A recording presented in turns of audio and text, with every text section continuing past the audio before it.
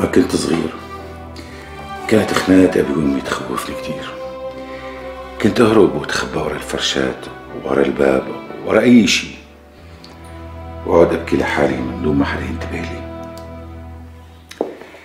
بعدين لما كبرت ونزلت على الشام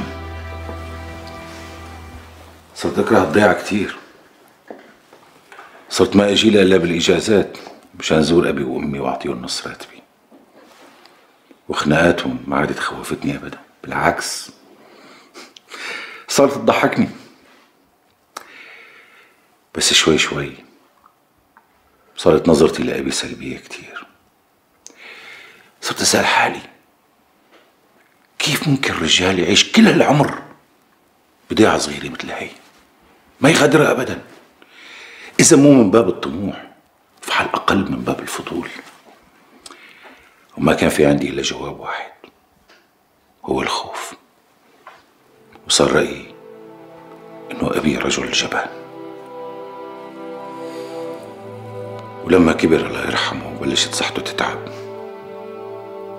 عجزت فيه إنه يقتنع معي يطلع يتعالج برا بألمانيا بريطانيا لبنان.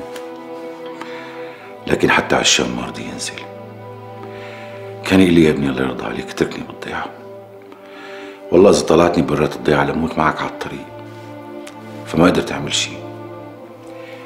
ما كان قدامي غير إخضاع لمشيته وصرت جيب له الدكاترة اللي عنده. بس بعدين صحته تدهورت كتير. وقالوا لي الدكاترة إنه صابي حماسي فأجيت من الشام فورا. كنت عرفان إنه هي زيارة الوداع. دخلت لعنده على الغرفة لقيته نايم. قالوا لي إنه عم يغيب عن الوعي.